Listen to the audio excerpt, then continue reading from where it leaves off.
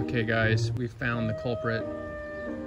This is a caterpillar that you're gonna see a lot this time of year, September, October.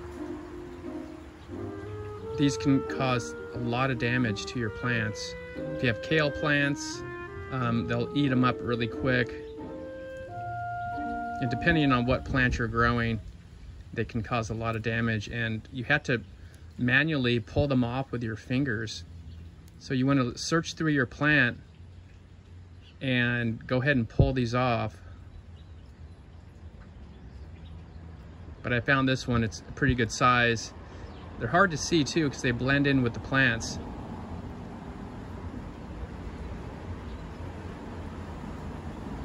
I'm not sure um, what type of butterfly.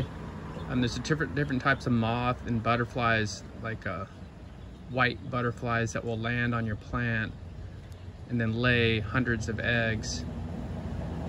And then if you don't get them early enough, they will get pretty big like this one. They'll get big like this and they can cause a lot of damage very quickly. So you want to make sure you're searching your plants all the time.